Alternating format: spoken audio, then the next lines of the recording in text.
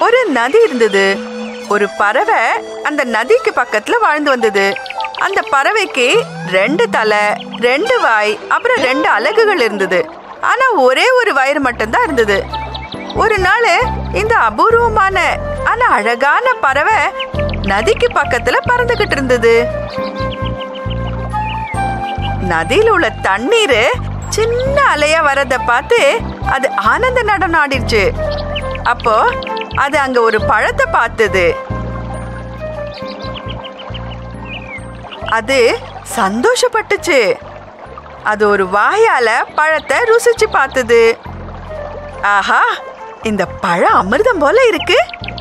இது வரைக்கும் எவ்வளவோ பழங்களை சாப்பிட்ருக்கேன் ஆனா இந்த அளவுக்கு எதுவுமே இனிச்சது இல்லையே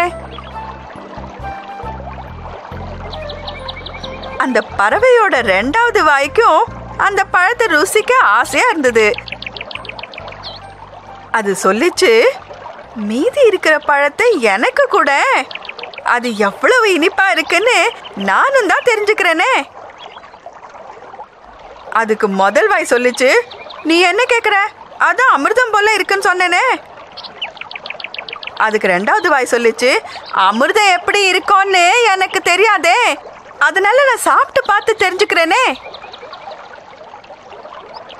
அதுக்கு முதல் வாய் சொல்லிச்சு நான் இந்த பழத்தை சாப்பிட்டாலும் சரி இல்ல நீ பழத்தை சாப்பிட்டாலும் சரி ரெண்டும் ஒன்று தானே நமக்கு ஒரு வாய் தானே நான் சாப்பிட்டாலும் சரி நீ சாப்பிட்டாலும் சரி அந்த பழம் அதே வயத்துக்குள்ள தானே போக போகுது?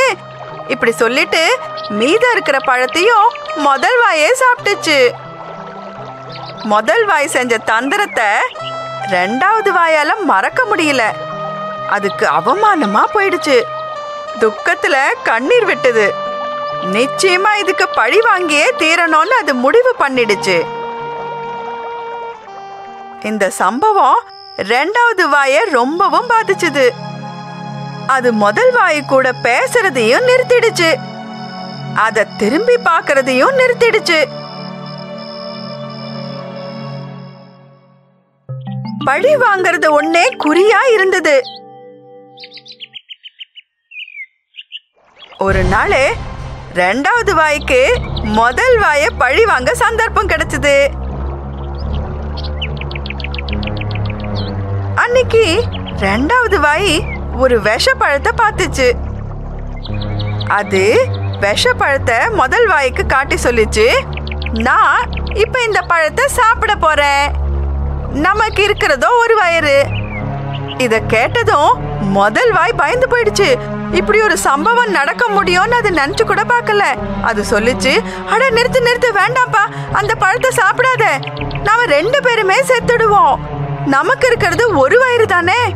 அதுக்கு ரெண்டாவது வாய் சொன்னது உனக்கு ஒண்ணுமே ஆகாது. நீ தான் அமிர்தத்தையே சாப்பிட்டிருக்கியே. அதனால உனக்கு சாவே கிடையாது. முதல் வாய். எவ்வளவுதான் அதுகிட்ட கெஞ்சி பார்த்தோம் ரெண்டாவது வாய் மசியவே இல்லை. அது அந்த விஷப்பழத்தை சாப்பிட்டது. விஷம் வயத்துக்கு போச்சு. ரெண்டு வாய்களும் துடிச்சுது. இப்படியே கடைசியில ரெண்டு வாய் கொண்ட பறவை இறந்து போச்சு.